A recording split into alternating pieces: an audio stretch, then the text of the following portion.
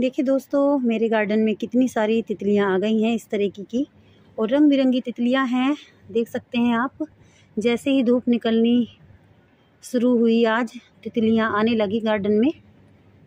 क्योंकि सर्दी की वजह से इनके भी पंख सुकुड़ जाते हैं और बैठिए देखिए इस पत्ती पर।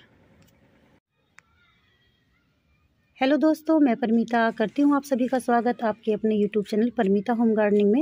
देखिए फ्रेंड्स मेरे गार्डन में आ गई हैं नन्ही नन्ही सी तितलियाँ और ये जो पेंजी के होते हैं ना फ्लावर्स ये उन्हीं में से हैं, लेकिन ये जो स्मॉल वाली है पेंजी और मैंने जो इसके सीड्स थे, वो अमेज़ोन से मंगाए थे।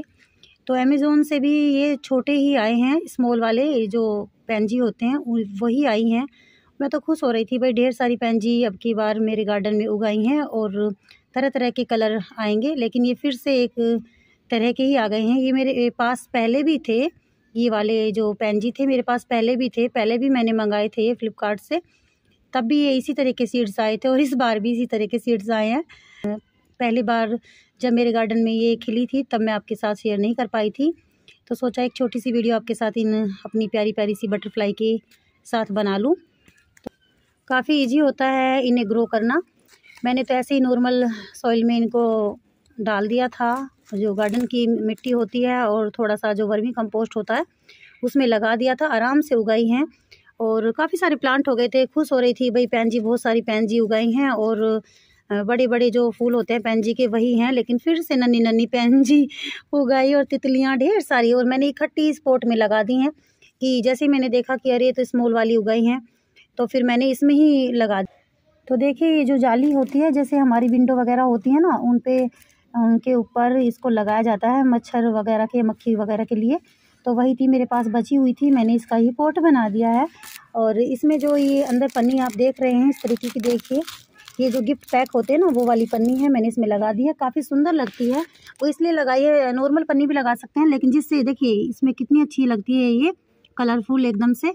और इस तरीके का फ्री का पोट मेरे, मेरा जो तैयार हो गया है, ये जाली मेरे पास एक्स्ट्रा ऐसी ही पड़ी हुई थी। और इसमें मैंने मिट्टी भर दी है और अच्छे से खाद तैयार करके, और ये मैंने इकट्ठे सारे ही प्लांट इकट्ठे लगा दिए क्योंकि जब मुझे पता चला ना कि ये नन्हे नन्हे से प्लांट है तो मैंने इकट्ठे लगा दिए। देखिए, ढेर सारे हो गए थे मेरे गार्डन में ये। देख सकते हैं बहुत सारे प्लांट लगा दिए हैं तो ये भी सुंदर लगते हैं। लेकिन जो बड़ी पैंजी होती है, जो बड़े वाले फूल होते हैं पैंजी के, वो और ज़्यादा सुंदर लगते हैं। चलो कोई नहीं, ये नन्हे नन्हे से बटरफ्लाई भी अच्छे लग रहे हैं। तो आप ज़रूर बताना कि आपको मेरे ये बटरफ्लाई कैसी लगी। और वीडियो अच्छी लगी है और ये फ्लावर आपको अच्छे लगे हैं तो प्लीज़ ज़रूर से बताना।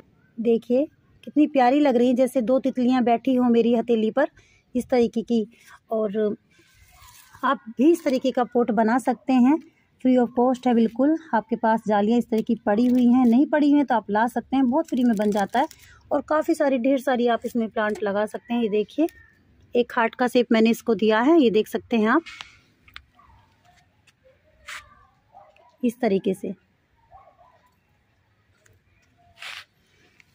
तो आप भी तैयार कर सकते हैं, और पीछे देखिए, ये मैंने सनरेरिया के प्लांट हैं, ये देख सकते हैं आप, ये वाले। अभी इन पर फ्लावरिंग नहीं आई है, एक ये रहा और एक ये रहा हाँ। ये वही प्लांट है, दो प्लांट तो मेरे ख़राब कर दिए थे और एक प्लांट ये वही वाला है जो गिलहरी ने इसको भी निकाल दिया था। तो ये सबसे ज़्यादा बेचारा बिल्कुल कमज़ोर सा हो गया है, दोबारा से चलो इसको जीवन तो मिल गया। तो ये वही वाला प्लांट है और जल्दी ही जो ये सनरेरिया के प्लांट हैं, इन पर भी फ्लावरिंग होनी स्टार्ट हो जाएगी। तब इनकी भी जो एक वीडियो है, आपके साथ शेयर करूँगी।